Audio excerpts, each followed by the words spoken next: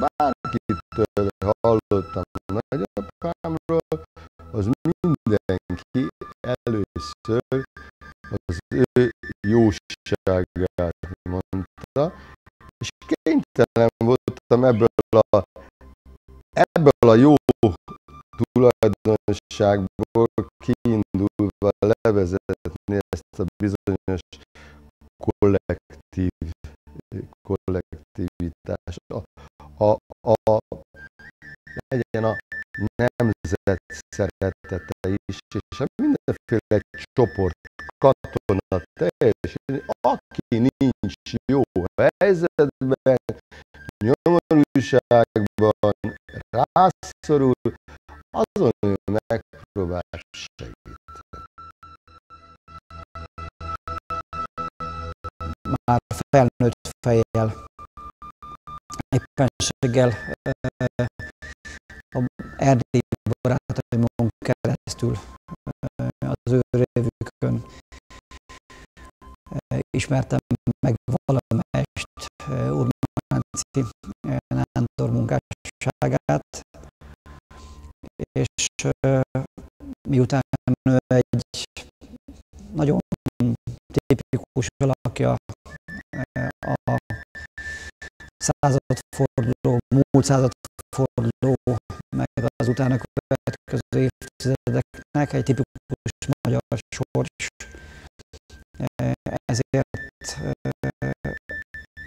számomra nagyon hamar, hogy így mondjam, kedvessé vált, vagy közelévé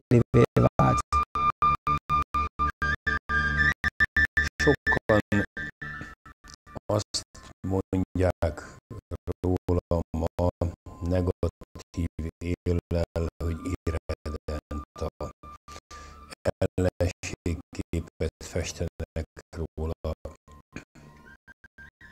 Én egy kicsit másképp látom a helyzetet. Abban a hangulatban azok között a körülmények között egész egyszerűen egy nemzeti összetartozás, a nemzeti egysége mellett komoly hazaszeretettel próbált állást foglalni, és ennek különböző kifejezési formákat adni önteni.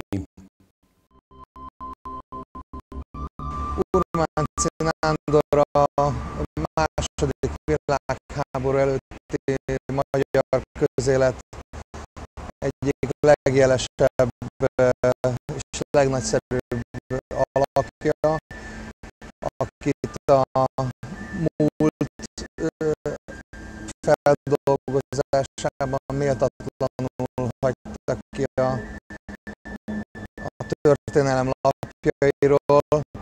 Ez kizárólag a kommunista történetírásnak köszönhető. Urmánci Nándort a marxista és posztmarxista történetírás gyakorlatilag kiírta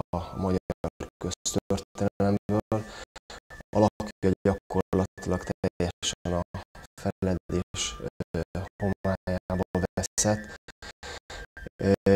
Fontos feladata nem csak a történetírásnak, hanem a közgondolkodásnak is, hogy azokat az értékeket, a nemzeti összetartozás tudat értékét, ezt újból fölfedezzük rajta keresztül, és és szerepét megtaláljuk a politikában és a történelemben.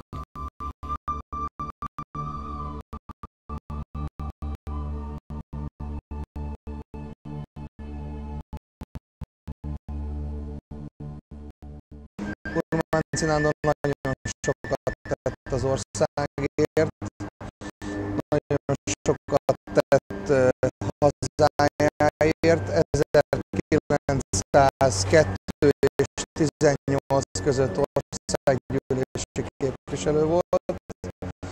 Ebben az időszakban kezdeményezte és fejezték be végül is az építését Szászrégen és Gyergyó Szent Miklós között a Székely körvasútnak.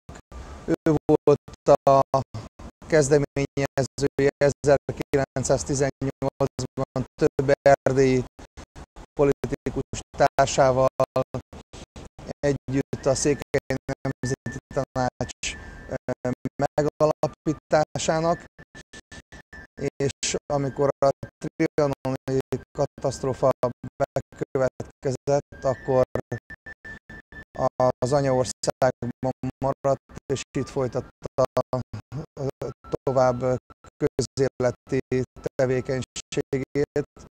Ő kezdeményezte többek között az észak-dél kelet-nyugat szoborcsoportnak a megalkotását, létrehozását, amit aztán az 1945-ben bevonuló szovjet csapatok felrobbantottak és szétzúztak.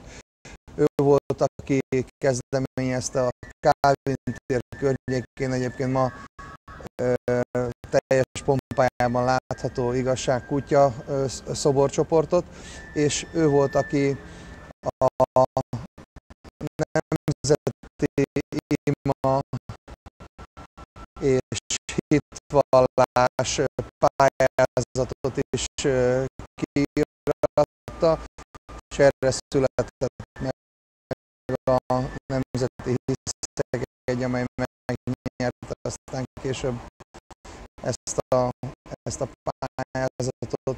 Urbanci Nándor egy olyan történelmi időben volt Magyarország egyik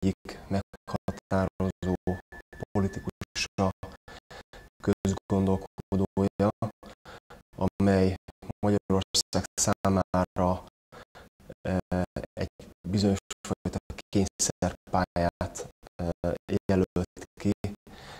Eh, Magyarország külpolitikai céljait tekintve nyilván a két világháború között arra igyekezett törekedni, hogy a nemzeti integrációt a korszellemnek megfelelően lehetőség szerint újból helyreállítsa. Ő a nemzeti összetartozás tudat, illetve a nemzeti cselekvőképesség megőrzése érdekében fejtette ki a tevékenységét, és ennek érdekében hozta létre azt a rendkívül nagy hatású szellemi mozgalmat, amelyet Ereki és országzászló mozgalomnak nevezünk. Ennek első példányát, első darabját a, szabadság téren állították föl. Az Ereki és országzászló, amelynek talapzatában a történelmi Magyarország különböző helyéről, illetve helyszíneiről, a magyar történelemben fontos helyszínekről, a Cseleppatak partjáról, a Muhi pusztáról, Kossuth Lajos szülőházának darabjaiból hozták oda a földet, kifejezve azt, hogy az erek és országzászló a nemzet földjén áll, és a nemzet szándékát, illetve nemzet célkitűzéseit jelképezi. Olyan emberről van szó, aki nagyon sok mindent kezdeményezett, iskolát, kórházat, saját településén,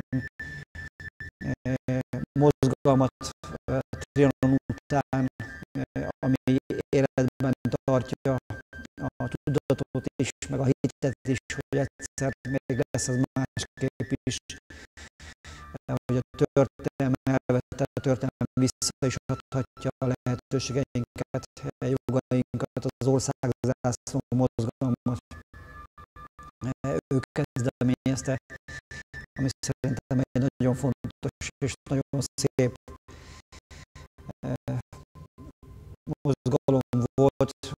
nem véletlenül ez 1990, de inkább a 90-es évek vége felé ez újra életre kelt, tehát egyre több helyen avatnak, avattak országzászlót, például a Kukaértén is egy ilyen zászlóhatásban,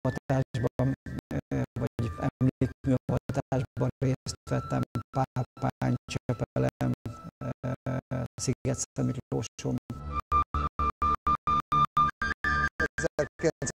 1938-ban az 1838-as nagy árvíz századik évfordulóján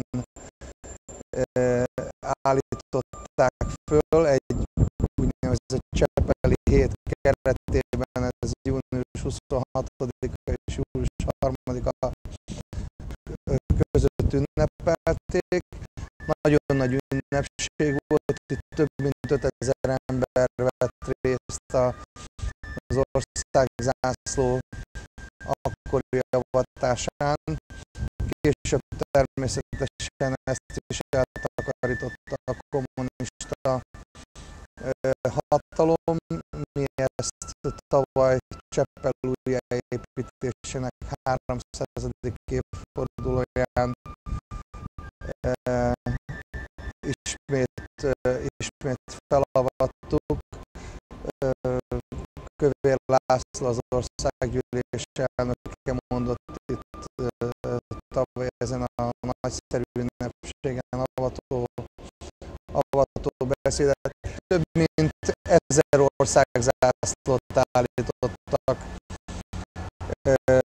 fel Magyarországon az ő kezdeményezésére, és az volt a célja, hogy a magyar nemzeti összetartozást, a magyar nemzeti együvé tartozást, tudatot kifejezze és erősítse, és ezen keresztül pedig a cselekvőképességet, a, a, magyarok cselekvőképességét, az újjáépítésbe vetett hitet tudja sugározni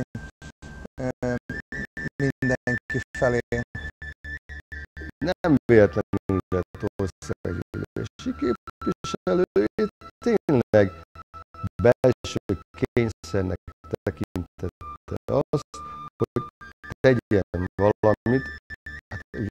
elsősorban az Erdély kerületért, ahonnan az országgyűlési képviselője volt, másodszorban pedig a háború alatt kifejezetten a katonákért.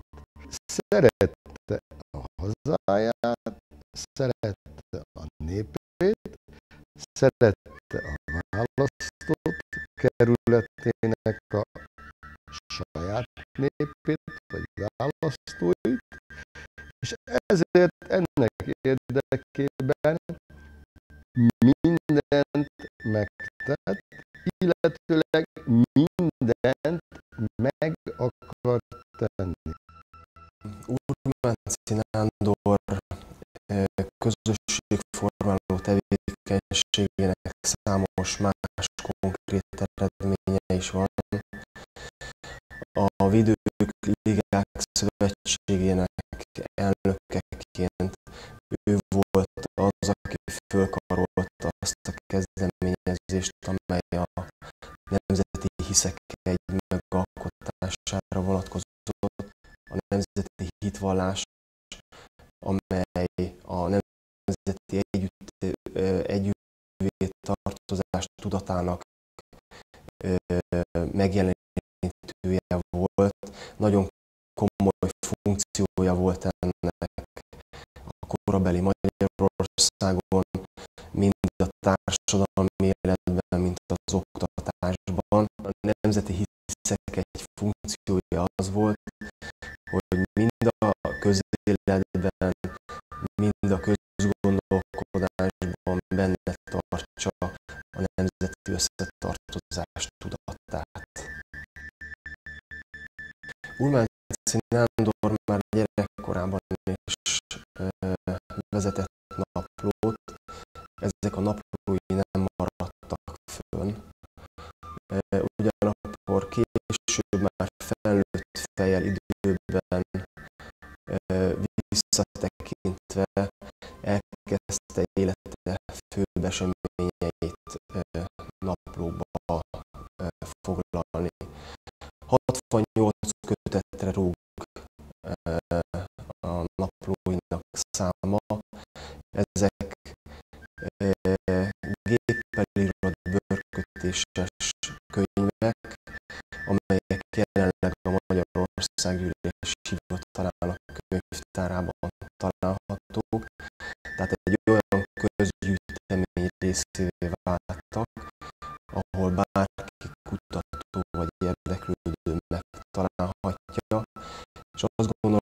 fontos is, hogy belelapozzunk ezekbe a naplókba, mert ezen keresztül nem csak fontos kortörténeti dokumentumokat, hanem személyes visszaemlékezéseket is olvashatunk, olyan visszaemlékezéseket, amelyek a korszak meghatározó eseményeire vonatkozólag eddig talán föl nem lehet, vagy le nem írt eseményeket foglalhatnak magukba. A könyvtárnyi kötetben,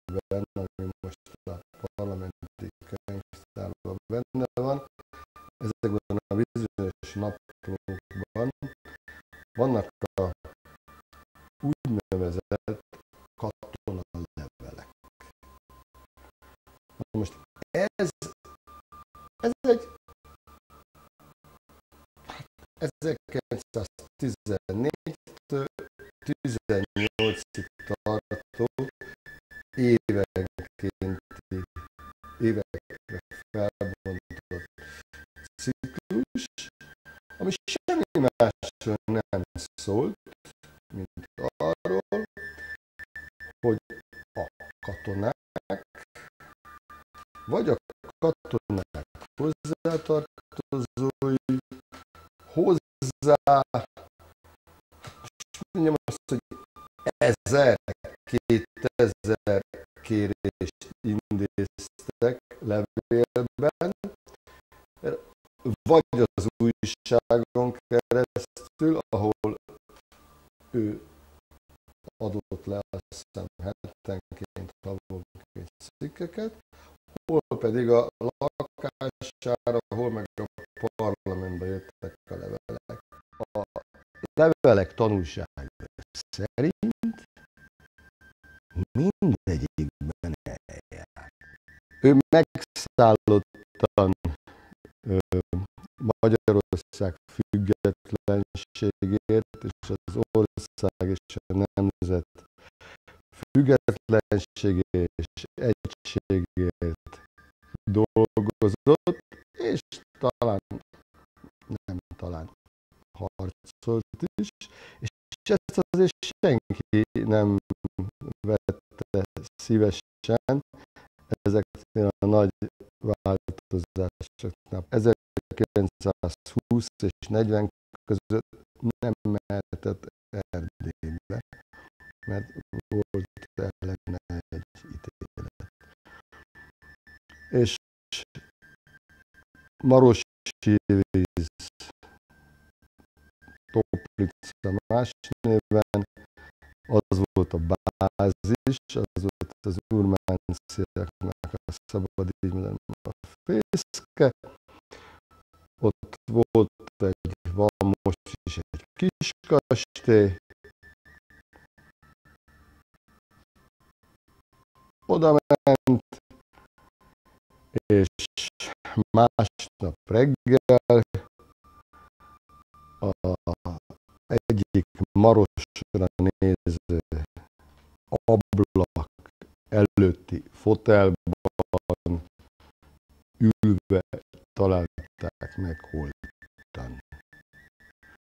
Gyakorlatilag, hát gondolom ez egy óriási lelki öröm volt, de tulajdonképpen a testre, szívre teher, és ez elvitte. Nagyon színes eh, egyéniségről van szó, akinek ráadásul van egy olyan nagyon fontos mondata, amit tulajdonképpen szinte nap mint nap mi is elmondunk mai politikusok, kormánypárti politikusok, csak éppen más megfogalmazásba. Remélem, hogy többé-kevésbé pontosan tudom idézni fejből. Ez a mondat az így szólt 1921-ben, eh, hogyha egy nemzet nem bízik a saját erejében, és eltűri, hogy a sorsát mások irányítják, az a nemzet megérett a pusztulásra.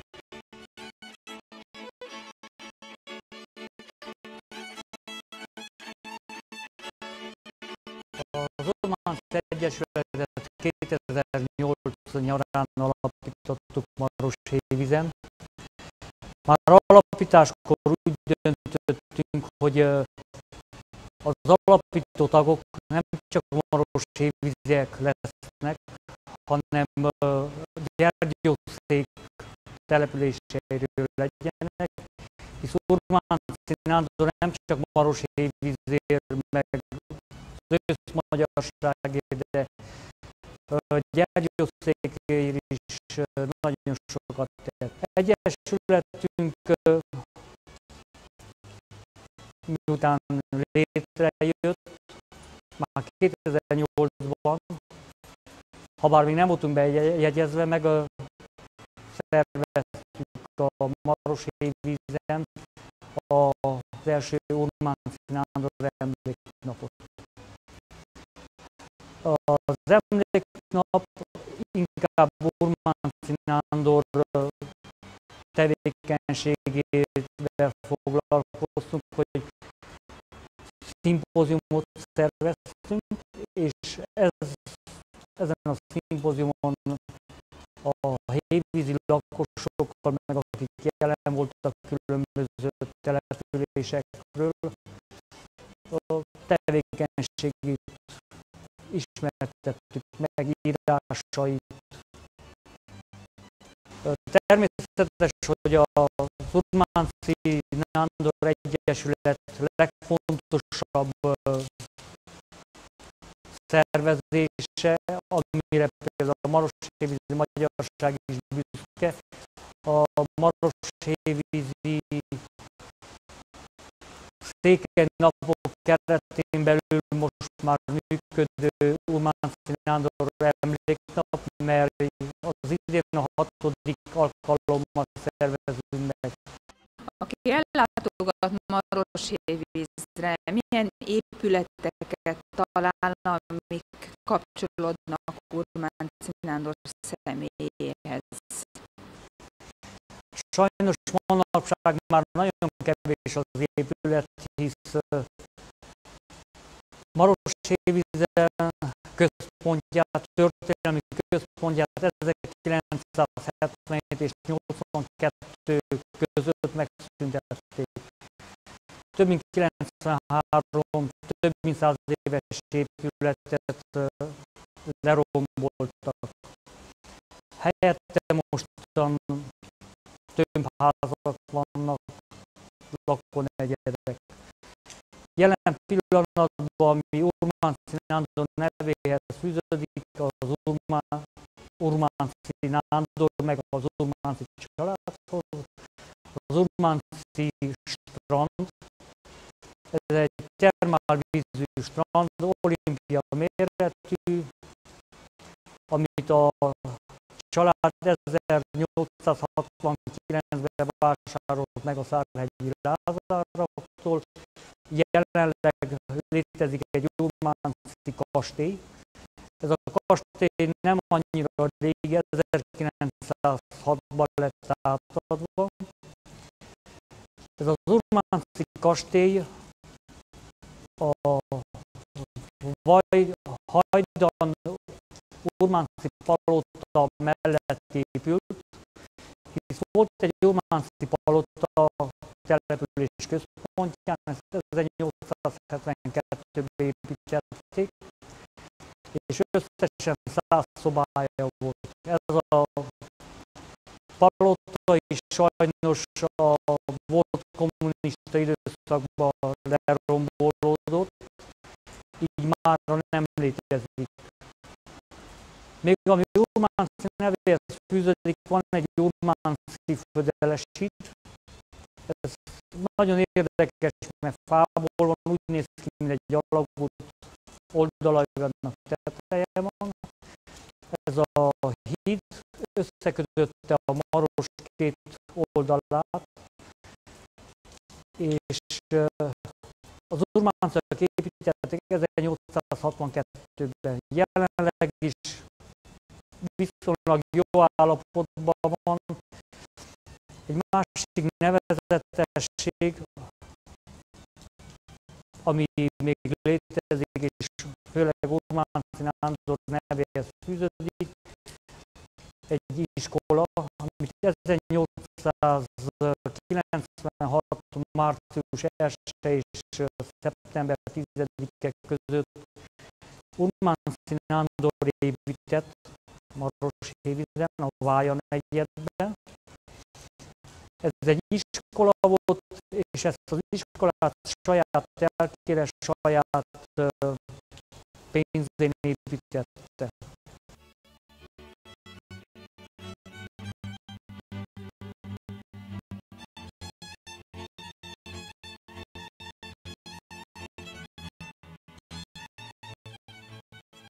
Ezer 1942 őszén az Erdélyi Férfiak Egyesülete kezdeményezte azt, hogy a Margit szigeten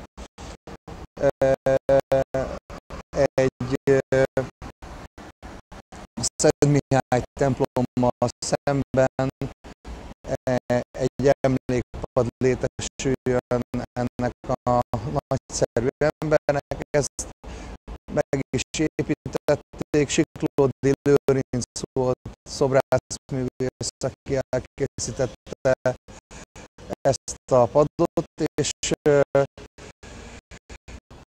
és hát ennek is az lett a sorsa, mint nagyon sok minden Urmánci által kezdeményezett emlékműnek, ezt is a kommunisták szétverték, eltakarították. Ebből a reliefek megmaradtak, és most ennek a visszahelyezését kezdeményeztük.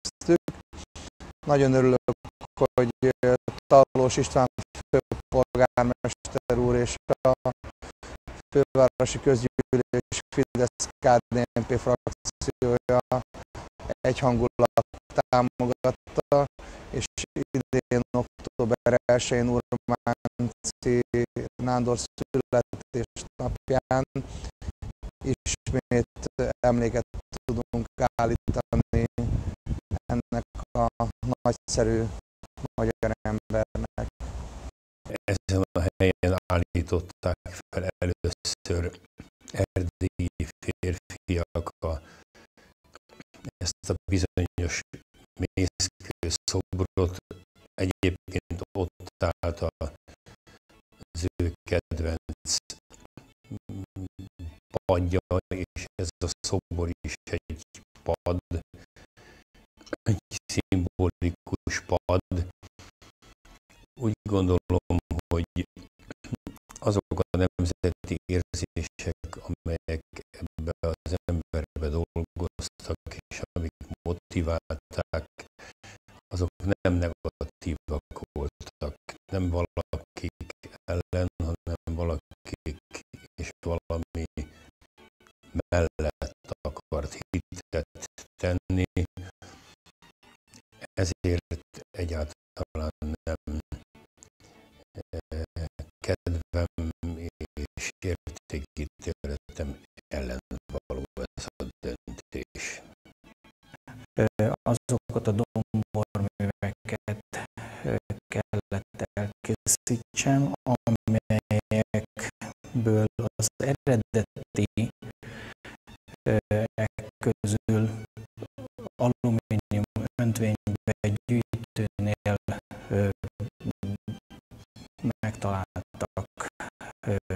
megtaláltak két darabot, ezekről csak bronz másolatot kellett készíteni, és ezeknek a bronz meglévő domborműveknek a stílusába, vagy ahhoz, ahhoz kapcsolódóan kellett egy olyan harmadik ö, hiányzó domborművet rekonstruálni, ami a, az Erdély Magyar Férfiak Egyesületének az emblémája. Ez csak egy fametszetben állt rendelkezésemre. Az Egyesület a saját kiadványainak a belső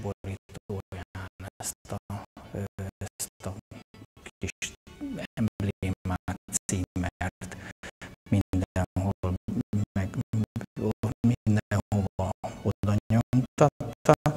Egy fametszetből kellett egy ö, dombormű plastikát átírni ezt, a, ezt az emblémát, címerszerű emblémát, és hasonló ízzel ráadásul, ami, ami már egy meglévő. Tehát ez egy érdekes restaurátori attitűd. Ebbe azért meg kell említsem a, egy, egyik szobrász kollégámat, a Barta Csabát is, aki, akivel ezt közösen készítettem, hiszen ez a, ez a feladat ilyen szempontból egy ilyen összetett a bronzöntő és, és, és sok más szakemberé. Mánci Nándor örmény származású volt, és mennyi mindent tett úgy az Erdély, mint az ősz magyarságért. Azt lehet mondani, hogy magyarra volt, mint sok más magyar. Hogy nála nem számított csak a nemzet érdeke, nem a saját érdeke, soha nem az érdeke elteődött, hogy meggazdagodjon, hanem azt nézte a nemzet, a magyarság érdekeit. Természetesen köszönetet kell mondanom Kövé László házelnök úrnak, aki vállalta, hogy fővédnöke lesz eh, ennek a eh, emlékmű állításnak, illetve az emlékmű állítás ünnepségének. És hát eh, én nagyon nagy tisztelettel fordulok a Maroshévízi Urmánci Egyesület és elnöke Círiák Károly úr felé, hiszen ők kezdeményezték dr. Gortvai István Okával közösen, hogy ezt az emlékművet állítsuk vissza. Ők mind családilag, mind pedig a, az Erdélyi Egyesület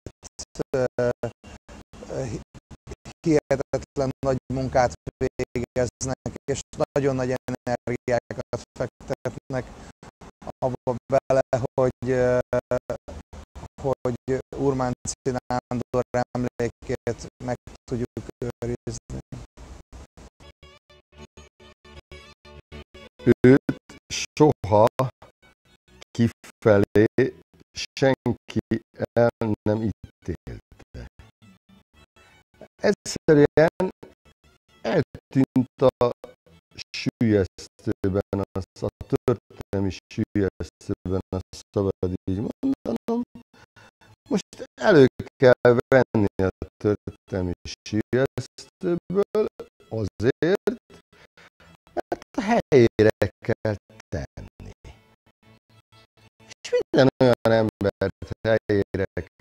tenni, aki nem ártott az országnak, aki jót akart, sőt nem csak akart, hanem jót is tett. Nem mindössze Urmánci Nándor emlékének teszünk egy gesztust, amikor a fővárosi közgyűlés nagyon helyesen ezt az emlékpadot, hanem egy olyan ennél sokkal fontosabb